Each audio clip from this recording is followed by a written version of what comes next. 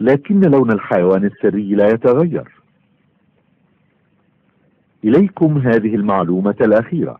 حيواننا السري يتعرف على أفراد عائلته بواسطة الرائحة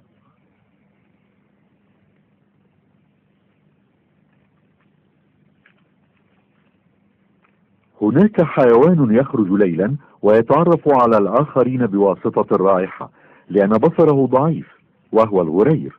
وهو أكثر حيوانات أوروبا سرية.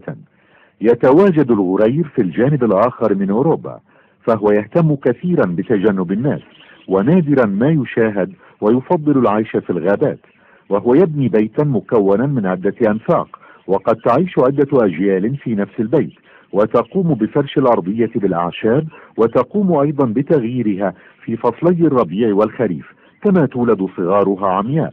وتقضي أول ستة أو سبعة أسابيع في جحر الحضانة قبل أن تتمكن من التعرف على بقية أجزاء البيت.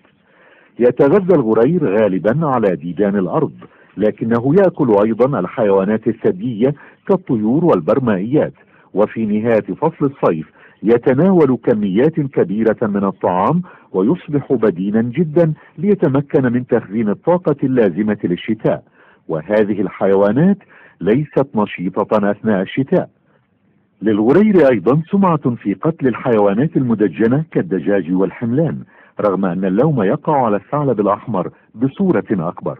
عند تعرضه للتهديد يقوم بنفش فرائه ليبدو أكبر حجما ثم يزمجر ليظهر شراستها لكن الغرير حيوان رقيق وقد تراه مع أفراد عائلته أثناء لهوها.